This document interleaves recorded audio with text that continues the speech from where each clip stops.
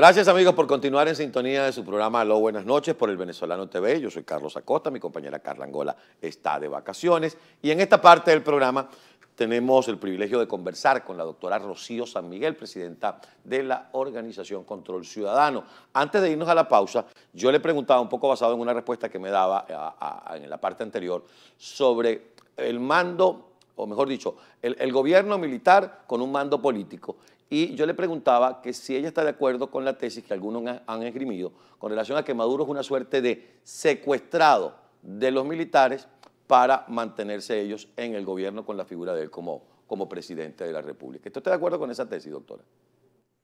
Sí, Carlos, eh, Venezuela no es un país plano. Eh, afirmar esto eh, simplificaría mucho las cosas.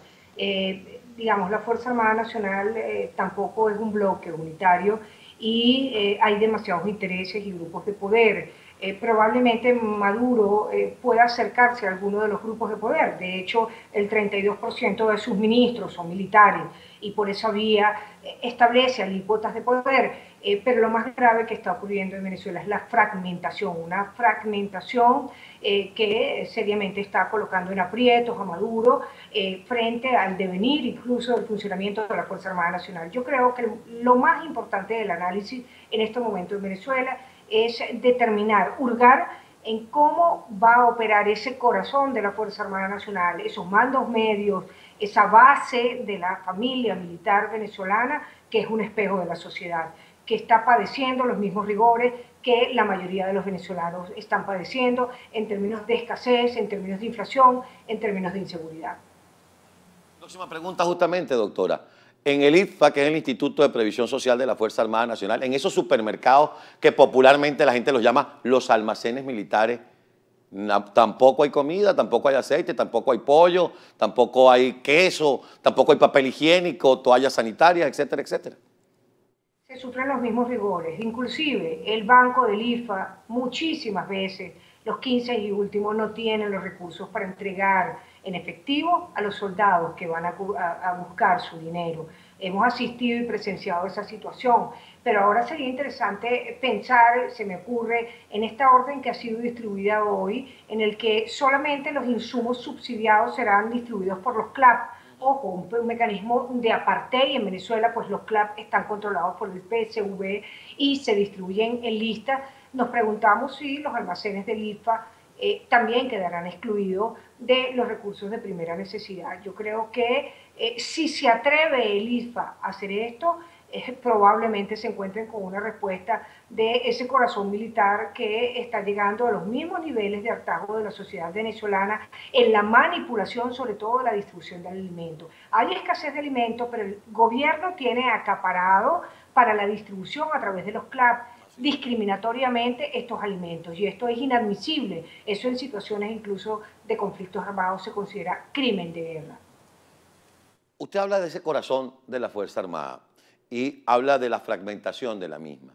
Hay una pequeña parte de esa fragmentación, de, esas distintas partes en las que se ha dividido la Fuerza Armada, que llaman la logia del 4 de febrero. Esos que hoy hablan diciendo que Maduro traicionó el legado de Hugo Chávez, lo ha mal administrado y entonces están como que tratando de penetrar no solamente en lo político, sino en ese corazón de la Fuerza Armada. Después de 17 años de gobierno chavista, ¿usted cree que esta logia del 4 de febrero, que estos señores que se alzaron contra un gobierno constitucional, independientemente de la calidad de aquel gobierno, era constitucional, que esta gente que se alzó va, va, a lograr conquistar ese corazón de la Fuerza Armada con ese discurso de Maduro traicionó el legado de Hugo Chávez?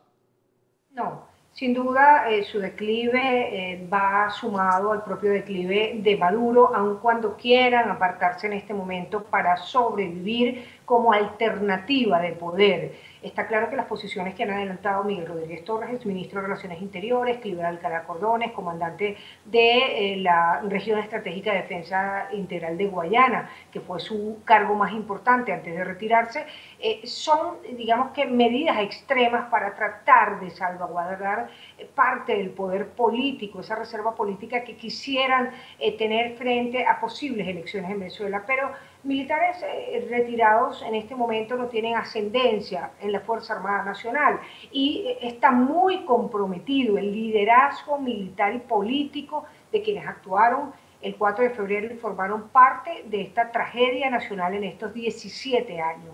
Es decir, es muy difícil en este momento divorciarse de algo de lo cual han formado parte. Entonces está un poco huérfano ese corazón de la Fuerza Armada. En este programa estuvo el vicealmirante Mario Iván Carratú Molina y también apelaba a esos a esas capas medias del mundo militar venezolano, a esas capas medias que no se benefician ni de los que están inmiscuidos o vinculados a negocios con el narcotráfico, ni de los que están vinculados al bachaqueo, ni de los que están en los cargos públicos. Es esa, esa, esa capa media del mundo militar que, como bien usted ha dicho, no se diferencia del resto del pueblo venezolano. Y nos decía el almirante Mario Iván Carratú Molina que en el momento en que se produzca un estallido social en Venezuela y venga una orden de Miraflores de activar a la Fuerza Armada en contra de la población, es esta capa media la que va a tener una actuación digna. Su opinión, por favor. Bueno, hoy hemos visto en el desarrollo de lo que ha venido ocurriendo en Caracas desde tempranas horas, en la avenida Fuerzas Armadas, por cierto, eh, muy cercana a Miraflores, cómo eh, el gobierno se hace de los eh, colectivos armados eh, bajo el amparo de la Policía Nacional Bolivariana y de la Guardia Nacional. Hoy han sido agredidos 19 periodistas en Venezuela, han sido robados, han sido eh, amenazados, han sido apuntados con armas de fuego, eh, en esa combinación de, de, actuación policial y militar aunada a la de los colectivos. reitero, han aprendido los grupos de poder en Venezuela a actuar y esta, esta idea de suponer que una, una explosión social generalizada en Venezuela eh, encontraría esta respuesta. Quiero decirles algo, la explosión social en Venezuela ocurre todos los días. Aquí hay caracasos todos los días que están siendo contenidos por las Fuerzas Armadas es probable que en algún momento ocurra un quiebre, seguramente por cansancio, por baja moral, eh, por incluso eh, eh, el rostro de, su propia gente en la demanda de alimentos. Pero los hechos no se parecen a los de 1989. La Fuerza Armada Nacional se ha venido preparando durante estos dos años con mandos chavistas, especialmente en ciudades claves como Caracas, Carabobo, eh, Anzuategui, eh, el Zulia. Es decir, ha habido esa maniobra de colocar e incentivar esos mandos para que respondan a una lógica de la defensa de la revolución. Y han comprado suficientes pertrechos para eh, lo que significa el, el, amedrentamiento, la actuación de la protesta yo creo que pudiera flaquear, sobre todo por la falta de maniobra y la falta de capacidad de atender tantos frentes al mismo tiempo. Podríamos estar hablando de una ciudad como Caracas Hoy, hoy, el día eh, que relato, el de una Fuerza Armada Nacional y unos cuerpos de seguridad del Estado de 50 frentes distintos en toda la ciudad, con diversas manifestaciones pequeñas, medianas, de intentos de saqueo, de intentos de protesta.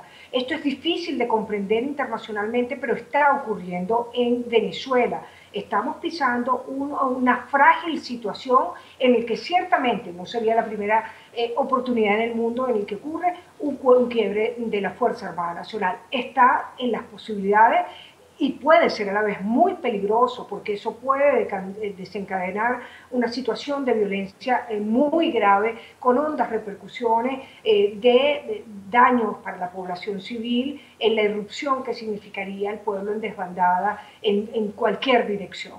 Lo que usted dibuja en este momento es un panorama muy delicado y muy grave y que hoy la ciudad de Caracas ha sido noticia, incluso en los noticieros internacionales, por esa razón. Y, le pregunto, ¿pudiéramos incluso estar frente a la posibilidad de que un sector de la Fuerza Armada se enfrentara a otro sector de la misma Fuerza Armada?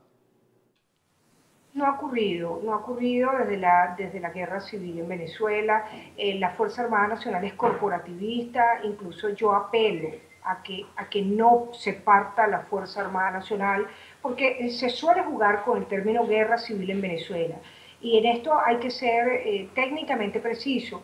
La única posibilidad que ocurra una guerra civil en Venezuela es que se parta la Fuerza Armada Nacional y ojalá esto no ocurra. Es decir, la Fuerza Armada Nacional monopoliza el mayor poder de fuego en Venezuela, mucho más allá de colectivos, mucho más allá de Milicia Nacional Bolivariana. Incluso no representan estos factores a la hora de una confrontación ninguna amenaza para la Fuerza Armada Nacional. Ojalá no se parta la Fuerza Armada Nacional, porque eso sí colocaría a la situación venezolana en una situación de guerra civil. Para el público no venezolano, doctora San Miguel, y ya casi para terminar, la presencia de elementos del régimen castrista en la Fuerza Armada Nacional continúa y de ser cierta, ¿cuánta importancia tiene? Sí continúa, lamentablemente. La presencia cubana tiene varios factores de incidencia sobre la actuación de la Fuerza Armada Nacional y los órganos de inteligencia del Estado. Eh, es decir, la formulación estratégica en la que ha venido interviniendo para la conceptuación de la guerra eh, popular prolongada, para la conceptuación del propio concepto estratégico nacional del empleo de los componentes de la Fuerza Armada Nacional, ha sido una clara orientación cubana. Eh, esto lamentablemente es una realidad. Eh, operan cómodamente en, su influencia incluso sobre el presidente de la República y además incluso en la intermediación de ciertos negocios en las adquisiciones de armas eh, que se realizan con Rusia, que se realizan eh, con Holanda, por ejemplo. Eh, es decir, lamentable y muy vergonzosamente el tema de injerencia afectando aspectos sensibles de seguridad y defensa nacional en Venezuela por parte de cubanos es una realidad. Doctora San Miguel, no sabe lo complacido que estoy por esta conversación, independientemente de que el tema no es para estar complacido, pero su presencia en el programa siempre nos es muy grata y su explicación y su análisis muy aleccionador. Así que muchísimas gracias por estos minutos. Muchísimas gracias, Carlos, a ti. un gran abrazo.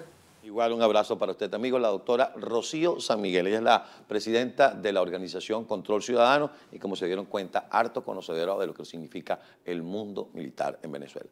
Vamos a la pausa. Enseguida estamos de vuelta con ustedes.